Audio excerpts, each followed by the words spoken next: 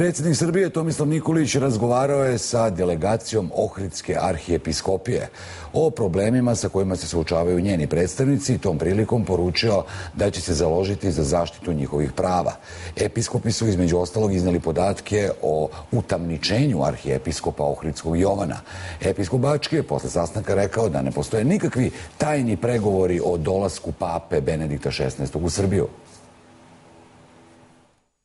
nikakvi tajni pregovori ni dogovori ne postoje, to je izmišljena stvar potpuno i to ne služi na čast onima koji su izmislili, ja ne znam ko su ti ljudi, ali to su neki iz vašeg medijskog spektra. E, ne može se sada davati fantastično, maštovito objašnjenje za svaku posetu i za svaki susret između katolika i pravoslavnih.